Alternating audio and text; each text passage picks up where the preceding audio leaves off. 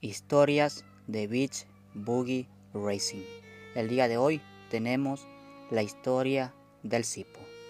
Seré sincero con ustedes amigos, yo no les quería traer esta historia, por eso me tardé mucho tiempo. La verdad que la historia del Cipo está muy triste, muy desgarradora. Es de los personajes de Beach Boogie Racing que tienen el peor pasado, así que no me gusta contarlo, porque el Cipo amigos ha sufrido como ningún otro. Comencemos. Primero les voy a contar sobre los padres del Cipo para que entiendan mejor la historia.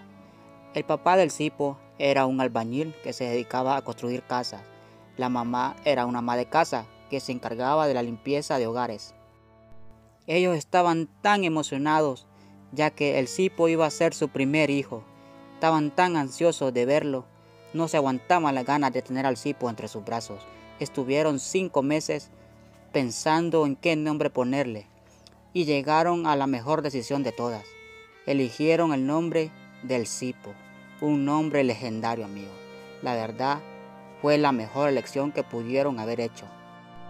Cuando el Cipo nació, los padres notaron que el Cipo era un niño muy fuerte, era un poco gordito y tenía un gran valor. El Cipo se le notaba desde pequeño que iba a ser un personaje muy valiente y los padres lo notaron. Los padres estaban tan orgullosos y estaban tan felices de tener al Cipo entre sus brazos. Ese día hubo una gran fiesta en conmemoración al nacimiento del Cipo. Hubo pastel, hubo comida, hubo refrescos y todo. Ese día fue legendario y muy grandioso. Pasaron meses, pasaron muchos años. Cuando el Cipo cumplió cuatro años, amigos, llegó la gran catástrofe. Ese día sus padres estaban tan llenos de deudas, ya que el padre era un albañil y había perdido su trabajo y no le salían más. No encontraba trabajo, estuvo casi dos meses sin trabajo amigos y la mamá estaba igual, tampoco encontraba trabajo. Se estaban muriendo de hambre. El cipo no aguantaba más. Él salía a pedir a las calles comida porque tenía muchísima hambre y cuando llegaba a la casa le daba de su comida a sus padres. Y sus padres le decían, gracias hijo por traernos este bocado. Lamentamos no poderte dar comida a nosotros. Sabes, te adoro muchísimo hijo. Pasaron muchos más años amigos con mucha hambre. Cuando el cipo cumplió nueve años, sus padres decidieron algo muy terrorífico, una decisión que cambiaría la vida del cipo para siempre. Un día por la mañana, los padres salieron de compras. Salieron a comprar verduras y muchas cosas para la comida. Pero en eso que estaban comprando, la mamá del cipo le dijo a su esposo, Oye, ¿y por qué no nos vamos? Creo que no podemos mantener al cipo. ¿Qué tal si lo dejamos en la casa? Y el padre le dijo, ¿estás segura de lo que estás haciendo? No sabes lo que estás diciendo. El Cipo nos necesita para estar, para que lo apoyemos en todo lo que él necesite.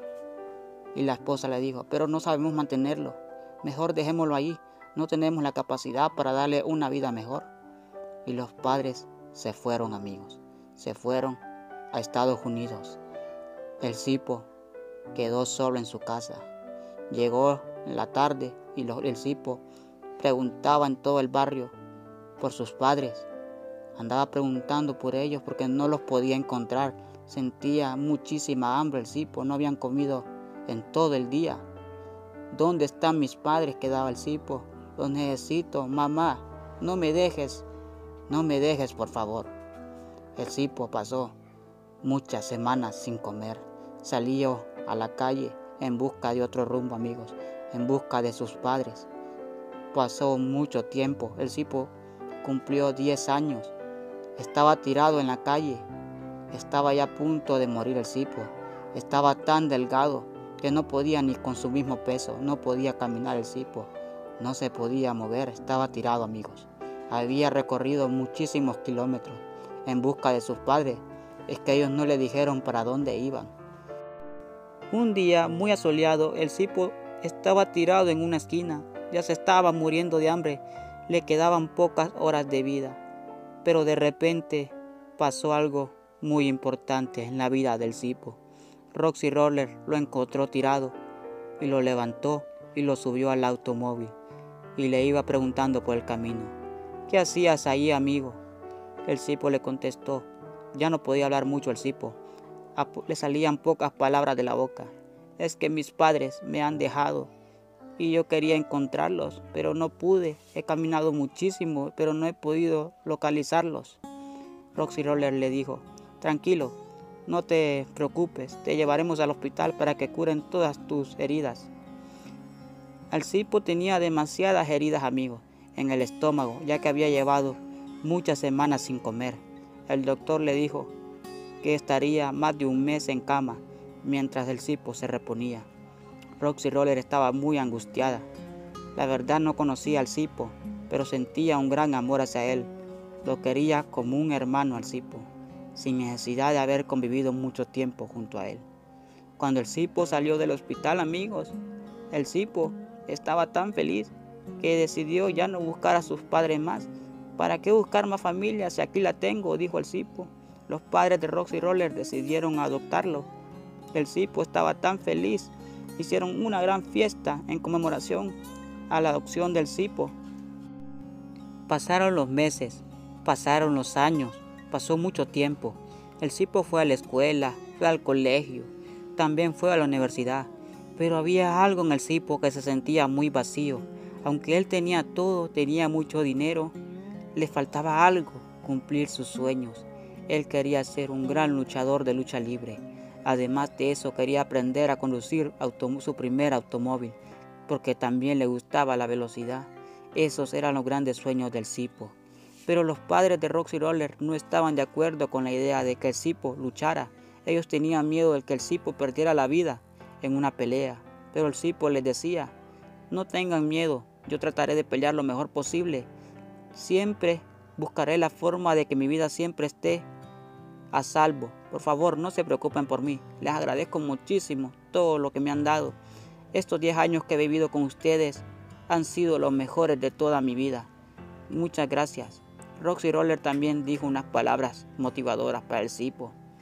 Hermano, cuídate mucho en las peleas. Yo confío en ti y sé que ganarás muchos cinturones de pelea. Sé que serás el mejor luchador de lucha libre. Te deseo mucha suerte. El cipo le dijo, gracias Roxy Roller, gracias familia por comprenderme y hacer posible mi sueño. El cipo estaba tan feliz ese día, no pudo dormir toda la noche pensando en que sus sueños serían realidad. Toda su vida tuvo un gran destino.